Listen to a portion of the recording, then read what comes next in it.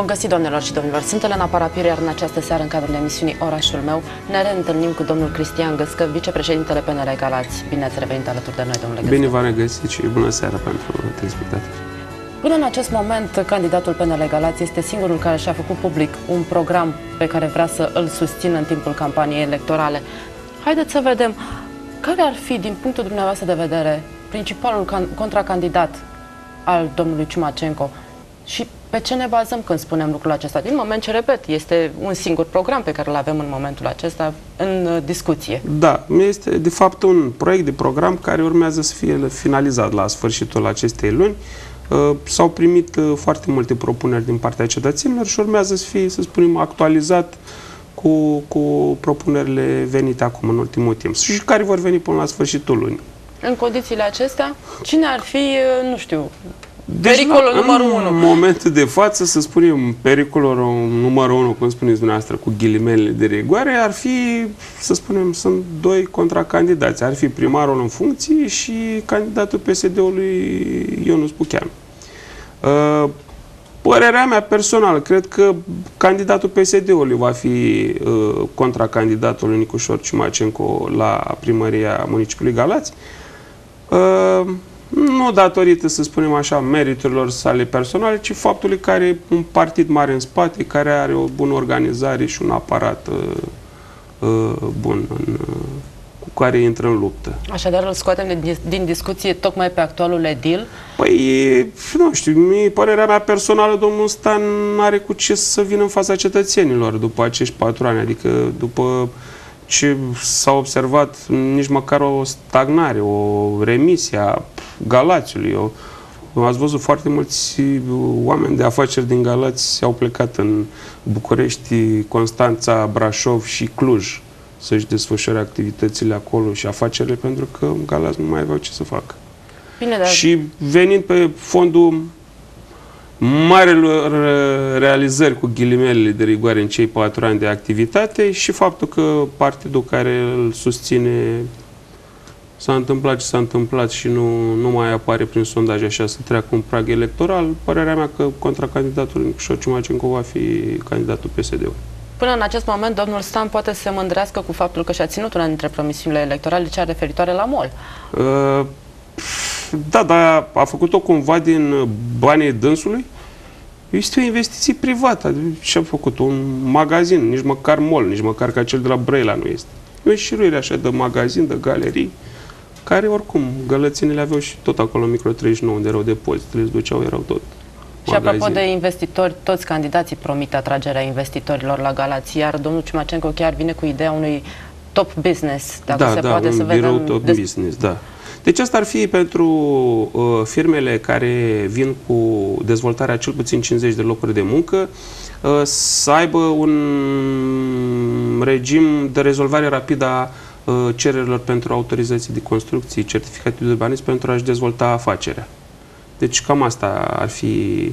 Și mai era o idee a domnului Ciumacencu de a avea nu un arhitect șef, ci trei arhitecți uh, ai municipiului, unul care se ocupă de persoane fizice, unul care se ocupă de uh, firme și unul care se ocupă, exact cum am zis, de top business, adică cei care vin cu multe locuri de muncă, înființează multe locuri de muncă. Și atunci să fie o, o facilitate pentru aceștia că scoatem oameni din șomaj și atragem taxe la bugetul local. Dacă este să revenim cu discuția asupra campaniei electorale, știm toți că în perioada alegerilor sau înainte de alegeri, promisiunile se țin lanț, iar perspectivele arată extraordinar de bine. Ce se întâmplă când trece omul la lucru propriu-zis? Pentru că, evident, există niște diferențe. Atunci oamenii sunt nemulțumiți. De ce nu vedem schimbările acelea care ne-au fost promise? Păi, nu s-au văzut. Părerea mea că Uh, sigur, Nicușor Ciumacenco își va respecta aceste promisiuni. Exact ce vă spuneam de, de treaba cu atragerea investitorilor, știți că am mai zis la o altă emisiune că dorește să aibă doi dintre consilierii lui să, fie, să provină din mediul de afaceri. Ca problemele uh, oamenilor care de fapt vor dezvolta orașul sau dezvoltă orașul, adică firmele de unde tragem bani de la buget și pentru taxele locale așa și locurile de muncă în primul rând Uh, să fie avut în vedere imediat, nu prin intermediari, are, asta am zis, că dorește un consilier din partea tinerilor împrinzători și unul din partea IMM-urilor, care oamenii să fie în direct contact cu primarul și să nu trebuiască să stea pe la uși și tot să vină, transmit direct problemele primarului și ca să poate fi rezolvate tot în sensul de a dezvolta uh, orașul și de a, a avea câte mai, cât mai multe locuri de muncă pentru gălățeni. Este un atu pentru candidatul PNL faptul că se întoarce la un aparat administrativ pe care îl cunoaște bine, din viziunea viceprimarului, vorbind de mandatul Bineînțeles pe care că este un atu. Că, sau este un dezavantaj, pentru că oamenii se pot gândi oricum, domnul Ciumacenco a avut pe mână mai mult decât prevedea fișa postului atunci când era da, viceprimar. nu, e, am observat și eu așa, multă lume face greșeala că a, a compara viceprimarul cu primarul, că viceprimarul are poate are atribuții, dar până la urmă semnătura stă tot în pixul primarului. Ca așa cum vedeți cearta dintre primarul, actualul primar și viceprimar, cearta cu candidatul PSD-ului, directorul de la Ecosal, Uh, tot la, la primar să ajunge. Deci nu a avut multă lume. Bine, asta e aruncată politic. Știți că a avut și a făcut. Nu e adevărat, nu a Bine, avut putere. În mandatul respectiv, în mandatul respectiv era amândoi de aceeași culoare politică. Da, dar decizia a fost tot la primar uh, atunci, nu a fost la viceprimar. Acum, da, când va fi primar, chiar va avea decizia și va putea face. Pentru că știu că dorește chiar își dorește să facă pentru Galați, exact cum am spus și eu, am fost convins să intru în proiectul acesta, discuția cu Nicușor Cimacencu a fost haideți să facem ceva în orașul ăsta pentru ca să nu ne mai plece copiii de acasă. Și să are un copil și eu am trei copii și tot așa. Ne dorim să-și facă facultatea unde vor, să fie ca toți oamenii așa, dar ca și părinți ne dorim să revină acasă și ideea este întrebarea, revenim acasă să ce sau la ce? Și atunci, de asta vă zic că în mandatul ăsta chiar Nicușor Ciumacencu va face pentru, nu neapărat pentru copilului, pentru băiatului, va face pentru toți tinerii din, din Galați, care, știu dintr-un sondaj, este primul lucru pe care îl cer tinerii în Galați, este uh, să aibă locuri de muncă. Nu mai vor să plece. Îți sătui, că, cu părinți și cu familii dezbinate, plecate în țări străine, pentru că nu au avut ce să facă, nu neapărat în Galați, în România, dar în speță noi vorbim de Galați. Domnule Găscă, este vorba aia că până la Dumnezeu te mănâncă sfinții în condițiile astea depinde numai de primar scoaterea acestui oraș din inerție? Pentru că noi suntem afundați în acest tip de inerție. Uh, nu se întâmplă Nu lucruri. depinde numai de primar, dar uh, un rol important îl are și uh, cum să spun eu, startul pe care îl dă. Uh, scânteia aceea trebuie să vină de la, de la primar, de a, de a se întâmpla ceva în, în uh, orașul Galați. Și eu cred că Nicușor Ciumacencu este omul potrivit să revitalizeze orașul ăsta și ajutat de, și de oameni de afaceri, și de politicieni, și de Consiliul Local să poate face ceva din Galați ăsta. Să ajungem măcar, nu știu, cum e Clujul, Clujul e departe de acum să vorbim. Chiar vreau Dar să măcar... vă întreb dacă avem vreun punct reper la care ne gândim. Ne gândim și noi, măcar să ajungem ca Sibiu, să nu mai avem șomaj. Deși Sibiu e la jumătate ca populație, ca și Galațiu. Da, măcar acolo să vedem, domnule, că să umple parcul industrial, că să umple zona liberă, uh, să nu avem, să ne trezim, eu așa mi-aș dori, ca și cetățean, domnule, să ne agităm să găsim alte spații, să deschidem parcuri industriale, cum a fost la Cluj, Brașov, au umplut trei parcuri, au ajuns la șapte parcuri și noi ne chinuim, avem numai indicatoare puse acum spre parcul industrial, că probabil nu au venit investitorii, nu găseau direcția. Acum avem indicatoare și poate ori să găsească. În programul domnului Ciumacenco, în programul domnului Ciumacenco apar acolo menționate grădinițele și creșele. Într-adevăr, nu avem creșe la Galați. Da, nu există și lor. chiar este, este o idee foarte bună, am zis, eu din câte știu una singură la Tecuci. Și gărlățenii sunt interesați, pentru că nu toată lumea își permite să aibă o bună. Dacă ar fi creșe, atunci toți oamenii ar putea duce la, la creșe copiii sau una, copiii două, foarte trei, mici. Copiii foarte mici, da, pentru că trebuie să se întoarcă la muncă și toți au probleme, vă dați seama. Nu-și găsesc loc de muncă că trebuie să stea acasă copiii. Și ar dori un verin mai mare, dar nu pot din cauza copilului că nu îl pot lăsa singur acasă.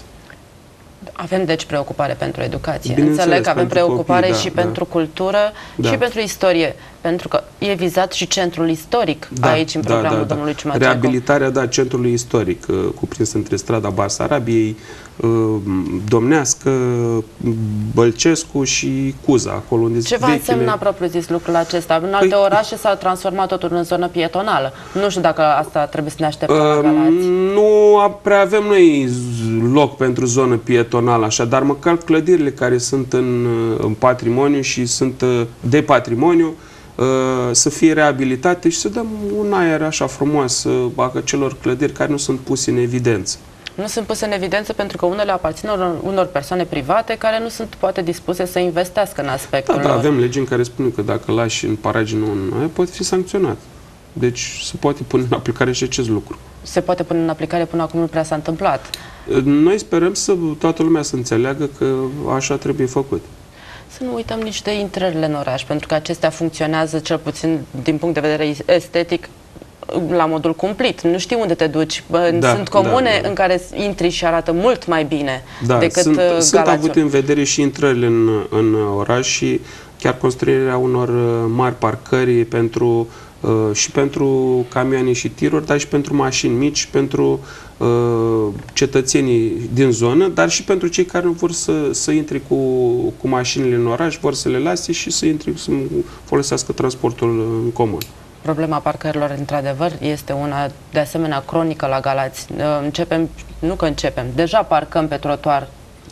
Da, din păcate așa este și nu suntem singurul oraș care... Dar unele orașe au găsit rezolvarea, sperăm și noi cu aceste parcări și supraterane și uh, subterane să... E vorba să... de o investiție atât de mare este, e vorba de o structură um, nu neapărat, care costă atât de uh, mult? Chiar atât de mare cât uh, um, faptul că ea se întinde beneficiul revine după foarte mulți ani de, de folosință pentru și ca privați nu prea s-au arătat interesați. Sperăm acum să fie pentru uh, a construi o parcare în, în regim, să zic, public-privat, să dea primăria locul, locația și omul să construiască, pentru că uh, toată lumea a pus problema chiriei și nu se pot pune niște chirii exagerate pentru că atunci nu mai ai clienți și investiția s-ar amortiza într-un timp mai, mai lung. Dar eu sunt, uh, uh, cred, convins că se vor, vor rezolva și vom vedea și noi ceva, să spunem, uh, normal. Nu să spunem că tot ne gândim, domnule, ca în Occident. Normal, o parcare supraterană, că te duci la... Când mergi la aici, la noi, să spunem, mergem la București, la orice mall are o parcare ori subterană, ori supraterană și știm cum toată lumea cum să, să intre, cum să procedează acolo. Dacă este tot să rămânem în zona aceasta care ține de automobile și uh, de parcul auto, haideți să ne referim și la șoseaua de centură, pentru că în acest moment Galațiul are doar segmente de centură, nu are o șosea Da, întreagă. e o șosea, de fapt nu e centură, Și din cauza asta traficul greu nu poate benzi. fi Da, eu știu că este în, în plan de a se construi o, o centură care să ocolească um, combinatul siderurgic și să iasă în partea cealaltă a orașului cu ajutorul primarului să pot, uh, când va ajunge în funcție Nicușor Ciumacenco și să poate mm, veni ca o delegație din partea uh, primăriei, a autorităților locale de la Galați, la Ministerul Transportului pentru a se urgenta această uh, construcție a, ce, a ceea ce înseamnă cu adevărat o centură pentru municipiul Galați. Ca o paranteză, ne-a lipsit lobby-ul la guvern? Eu cred că da. Poate a fost și o lipsă de interes, dar se poate acum. Și în toamnă, dacă Partidul Național Liberal va intra și la guvernare, atunci chiar vor fi deschise toate ușile. Dar nu trebuie să ne axăm numai că, fiind în același partid, să avem același guvern, pentru că interesul nu este a unui partid de a face o, o construcție, o autostradă, o centură a municipiului. Este un interes a unei comunități care N-ar trebui să contezi culoarea politică. Știți că am mai zis, să lăsăm acolo orgolii la o parte și luptele între culori, roșu, galben, albastru, care să bată așa și să ne gândim la interesul uh, comunității, a cetățenilor municipiului Galați. Cetățenii municipiului Galați sunt de obișnuit să fie aduși în discuție în timpul campaniilor da, electorale. Da, nu, acum noi nu vorbim de campanii. Eu vorbesc că chiar sunt sincer și lumea care mă știe știu că eu nu, nu fac promisiuni sau întotdeauna tot ce am zis am și făcut. Este un lucru important și de asemenea un detaliu de asemenea important, se va mai construi la Galați? Avem nevoie de case noi. Da, da, da, da. E un, o propunere a lui Nicușor Ciumacenco pentru um, un parteneriat public-privat, adică primăria spune la dispoziție terenul, și un investitor să, să ridice locuințe, dar 25% din acele locuințe să fie acordate primăriei pentru a fi, putea fi date ca locuințe sociale. Tot în program este prevăzut și centru de zi pentru vârstnici în fiecare da, cartier. Da, da, da. da. Ce înseamnă asta idee, adică exact? Adică unde ar putea veni uh, uh, bătrânii, unde s-ar putea uh, peste zi să se întâlnească Ehm, discuții și cu între ei, să, să stea să relaxeze, dar și o, o prezență a unui doctor, unui asistent medical pentru a afla ce probleme au de sănătate, a le recomanda anumite tratamente. Adică nu vorbim de o implicare la modul social ehm, să li se servească și o masă, probabil, persoanelor în vârstă? Uh, nu, pentru că nu, dar centrele de zi au alt, alt rol. Nu este o cantina săracilor. Corect. Dar avem și ideea de primării de cartier. Da, da. Uh, ideea de primărie de cartier, uh, Nicușor a zis, uh, e sătul de această birocrație și a venit cu ideea unor primării de cartier unde cetățenii își pot, se pot duce să-și depună documentațiile, să-și pot de, plăti taxele și impozitele și să nu mai parcurgă drumul până în centru la uh, direcția de taxe și impozite acolo. Și atunci să vină în sprijinul cetățeanului și în cartiere cât mai aproape de locul de reședință a fiecare, să-și poată plăti taxele și impozitele sau uh, primi alte informații în legătură cu ce dorește fiecare de la autoritatea locală. Și cum se împacă acest proiect cu ideea de a avea toate instituțiile care depind de primărie în sediul primăriei, cel care se construiește acum? Se împacă foarte bine. Deci toate instituțiile fiind în, în primărie, um, cine are nevoie chiar în primărie nu mai trebuie să alerge în 10 locații. Aici, um, noi dis discutând de primăriile de cartier, vorbim aici unde și oamenii își plătesc taxele, v-am zis, pot primi informații, dar când merg după autorizații, documentele se preiau, să spunem, de la primăriile de cartier și se eliberează, să zic, autorizații de construcție. Așa, în primăria nouă, unde vor fi toate instituțiile acolo și să dau avizile în același loc. Nu mai trebuie umblat în mai multe părți. Este cunoscut în acest moment domnul Ciumacencu? Este foarte cunoscut, vă spun. Și cum este perceput de către oameni? Păi e perceput ca un tânăr uh, capabil, care are experiență în administrație și care poate face chiar uh, schimba ceva în, uh, în municipiul Galați.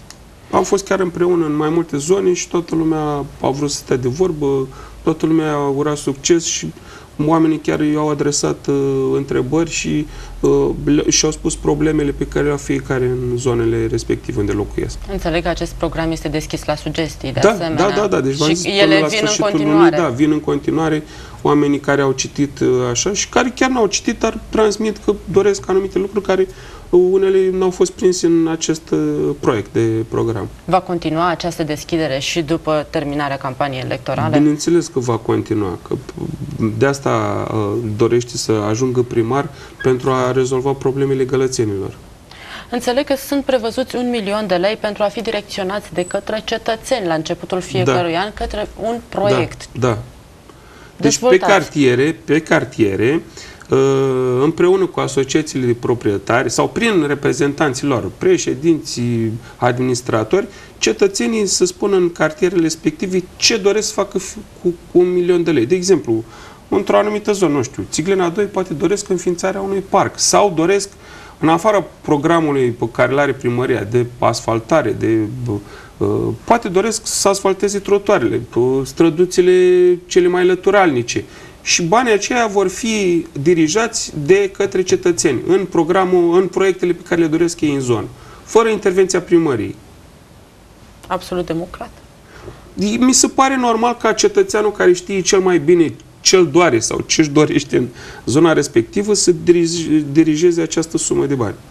Avem o campanie în care candidații, până în momentul acesta, cei importanți, sunt foarte tineri este un lucru în avantajul lor. Vorbesc și de domnul Ciumacencu, vorbesc și de domnul Pochianu.